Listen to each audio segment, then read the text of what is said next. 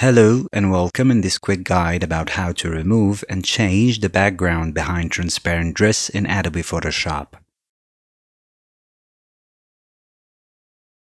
Quickly, I'll start by dragging the photo inside Photoshop.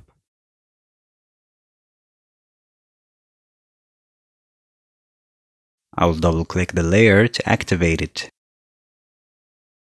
From Tools menu, I'll go ahead and select the Quick Selection tool. Easily, I'll drag a selection around the edges of the subject.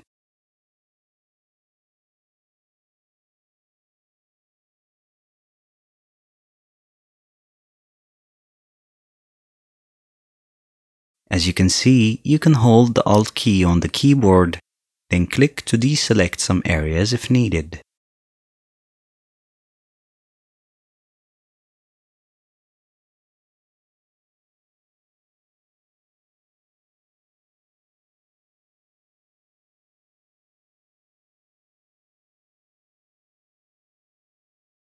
Tap the Delete key on the keyboard to remove the white background.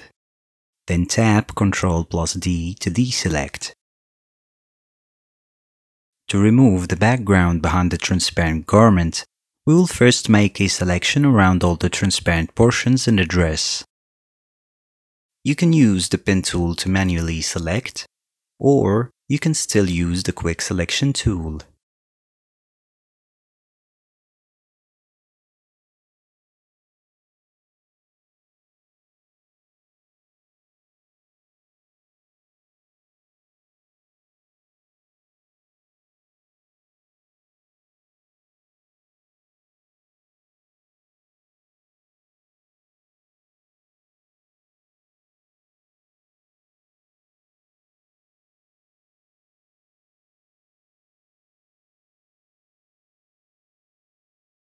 After done selecting the transparent dress, go to Edit menu and choose Cut from the list.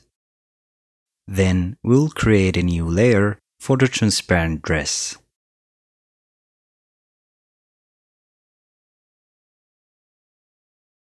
And go back to Edit menu, Paste Special, and choose Paste in Place.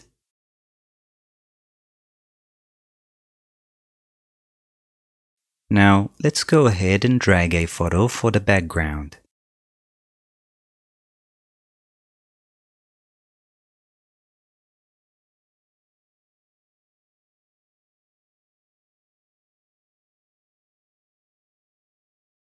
Finally, I'll decrease the opacity of the transparent portions in the dress to 75%.